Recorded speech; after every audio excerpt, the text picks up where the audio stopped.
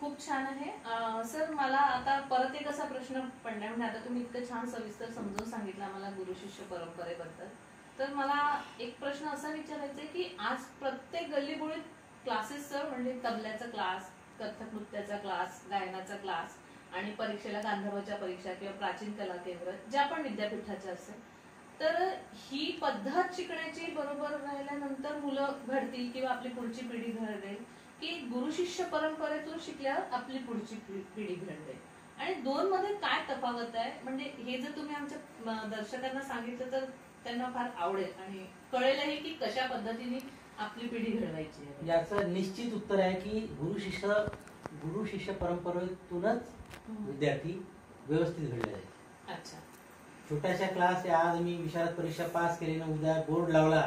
आणि विद्यार्थ्यांना शिकवलं आणि विद्यार्थी घडतील असं अजिबात होऊ शकत नाही कारण याचं एक महत्वाचं असं आहे की गुरु शिष्य परंपरेतून शिकणारा विद्यार्थी तो सहज अलंकारच्या परीक्षेला उत्तर देऊ शकेल.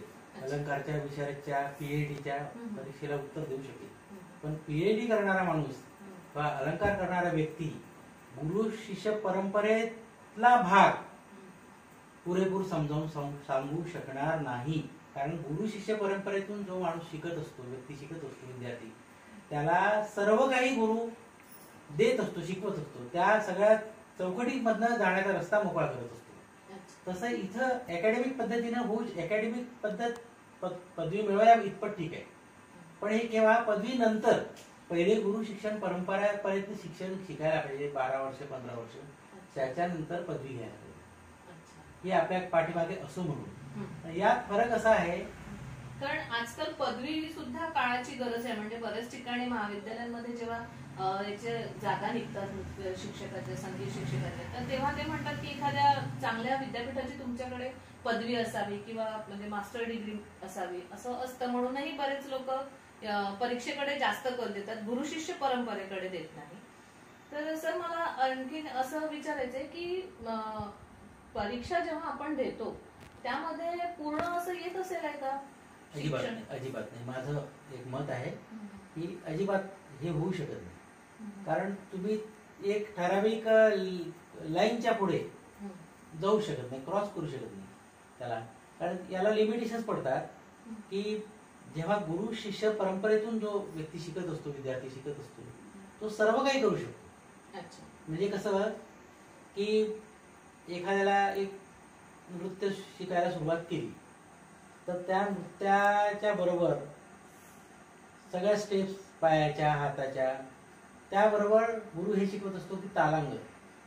म्हणजे तबल्याचं पण नॉलेज नॉलेज असलं पाहिजे. प्लस गायनाचं पण नॉलेज गुरु आहे.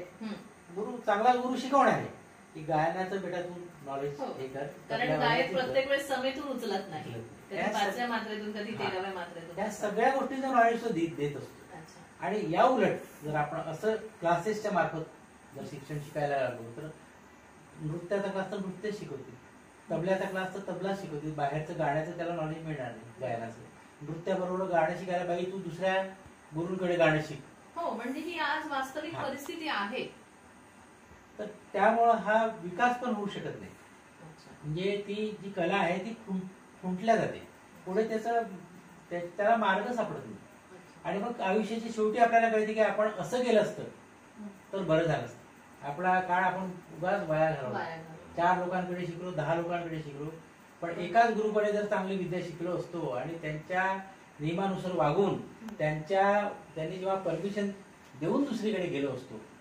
तर हे आपल्या आयुष्यात चांगलं झालं असतं. आणि आपण चांगलं शिकू शकलो जेव्हा त्याला माहीत होते की कला नाही इथवर नाही कला आणखी पुढे खूप आहे. त्याच्यानंतरच्या ह्या गोष्टी मग पश्चातापाच्या होतात म्हणजे सरांना सरांनी आपल्याला खूप छान सांगितलेलं आहे साध्या सोप्या शब्दामध्ये की पहिले तुम्ही गुरुशिष्य परंपरेतून शिका आणि त्याच्यानंतर पदवीकडे वळा. तुम्ही सरळ पदवीकडे वळले की आम्हाला सिलेबस शिकायचा तेवढं कंप्लीट करून डिग्री तर तो कलाकार बनणार नाही.